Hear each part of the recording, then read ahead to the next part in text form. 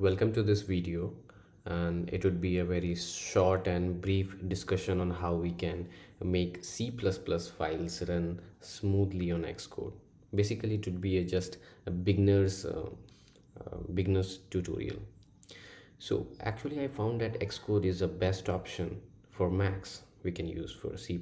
There might be many but I found out that Xcode is the best platform we can have on Mac and eventually when i started using xcode i found a lot of difficulty because i could not understand how to execute the programs over there because it was a bit distinct from what i used previously because i was used to uh, python and pycharm but uh, eventually a set of uh, c++ was introduced to us and it became very difficult for me to compile the program so i found uh, a lot of difficulties but i thought i should be sharing how I come up with those difficulty. You might find it silly that uh, I was not I was not knowing these things, but I think uh, if you know this, then you are feel free to skip this video. But if you don't know the tutorials, then I would definitely recommend you to watch this fully. So let's start it. So this is the Xcode. So you need to install it from the App Store. So after installing it, so this would be the window. You can just go for create a new xcode project. And over here you will get multi-platform ios mac os watchOS whatever you are planning to do. And in if you're doing if you're going to do uh, some simple basic programs in c++ then you should go in mac os and then command line and then print. Click next so in the product name you can write anything. I'd write uh, example. Example 2 and this is the my class. See it is an organization identifier. It would be just written uh, before the class you can see. So here in the language you can find there are four languages. And by default there would swift. Um, mm, by default but you need to change it to c++ and then we'll click next so in next uh, we need to make a folder where our stuffs will be stored. So i'm going to uh, i will go on the desktop. I'll make a new folder and i'll name it uh, example number two. So i'll create it and you can see it's example number two is created over here. Here you can see it. And then we'll click create. See it's created. We'll go in the full screen mode so no author information was supplied by the version control system. So this you if you want then you can provide the information but i don't find it very necessary right now. So i'll click cancel and then i'll do it full screen. So here we have created example number two. So this is our project example 2 and inside this this is our folder. And this is the file of main.cpp so if you click command plus b then what it will do it will build the code build successfully. And if we'll click command plus r then it will run the code. So it's been built successfully. You can see the hello world would be printed over here. See here it is. Hello world is printed. We can see it.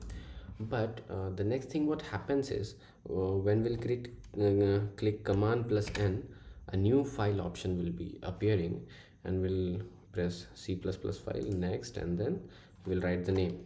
Number two. And we'll click next.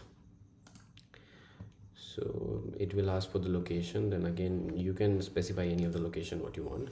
And then see we can see here that two cpp is being created.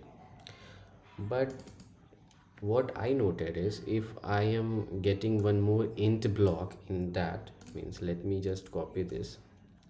Command c and then if i'm going to paste it command v here then we can find that there is a main in this file also and there is a main in this file also.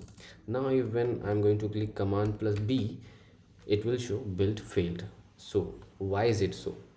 So if you can uh, see this messages here duplication of symbol see duplication symbol for architecture x86 underscore 64 so this is what i found again and again and but uh, see what should i uh, what can we do to overcome this? Here is the option. We'll go to we'll click the project example number two. And here in the build phase we can find compile source. See basically this uh, uh, error occurs when there are more than two mains. So compiler gets confused which main they have to execute. So uh, now we want to compile the 2.cpp so we are going to uh, click this and then click the minus sign. So it will be minused and then if we are going here and then again we are pressing command plus b then it will do build success. And then if we are doing command plus r then again it will print hello world. See it's done. And this is a hpp uh, dot hpp uh, someone might be so it is a header folder. I don't know what it is used for but eventually i'll learn what it is. And if you know then you can also tell me. So now if there might be question arising that if we want to again run this main then what should we do? Again go here. And then you minus this and if you click on plus then you'll find it here main cpp then it again go in main cpp command plus b. Build succeeded. Command plus r it will run. See here it is. Now if i want to make one more folder inside this i should talk about a bit of uh, what is hpp so right now i don't know what is uh, hpp folder. It is a header folder. And while the creation of a new page so if i'm clicking command plus n so here it is uh, for your new file. So in c++ when i'll go to next. So here it is asking also create a header folder. So we have to just remove the tick from here and then write number three and then next. So specify the position. So now we can see that we are not getting a header folder. So it's not required for me so i'm not creating any header folder. When i'll uh, know what it is then i may get it. So now i want to make folders like this. See i have got example number two folder and inside that i have got some files each having some or the other programs. So in case if i want to write an array program okay i want to uh, write uh, many programs related to arrays and i just want to accumulate them in one target. So that would be called target folder so now i'll tell you how you can create a target folder like this. So we have to go to the file and then new. In this file there will be new. In new you can see the target. So when you will click target then you'll get this window open. So here also you um, the same thing you'll have to choose the mac os then you can scroll downward and you can find a command line tool. Then again click next. So you have to write the name of the target. So i'll be doing all the programs related to arrays in this. So i'll be naming it array and again choose the language.